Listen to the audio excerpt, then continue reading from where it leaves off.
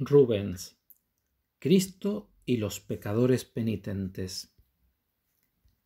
Junto a la Eucaristía, el sacramento de la penitencia será uno de los puntales de la contrarreforma. El rechazo de la confesión sacramental por parte de los protestantes supuso la defensa sistemática por parte de los católicos, que utilizaban todos los medios a su alcance.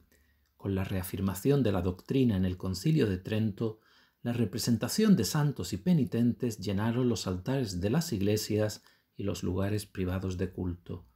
En esta tabla, Rubens nos presenta a dos de los penitentes más importantes, María Magdalena y San Pedro, acompañados de dos personajes menos frecuentes, el buen ladrón y el rey David, creando una sacra conversazione tan habitual en la pintura del Renacimiento italiano.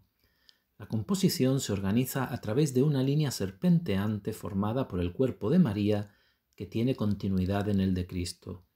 La figura de la Magdalena recuerda a las de Tiziano, en su larga melena con la que oculta su pecho y las manos cruzadas en señal de arrepentimiento. Su túnica amarilla contrasta con la roja del Salvador. Cristo está inspirado en las estatuas clásicas, manifestando una perfección cercana a un dios greco-romano.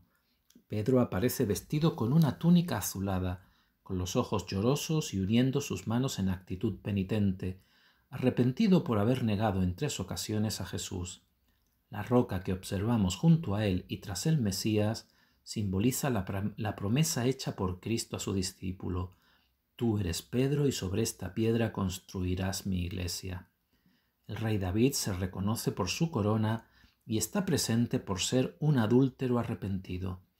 En el extremo izquierdo hallamos al buen ladrón, a quien Cristo prometió un lugar en el paraíso tras su arrepentimiento, recordando la figura del Cristo resucitado de la iglesia de Santa María sopra Minerva de Roma, realizado por Miguel Ángel.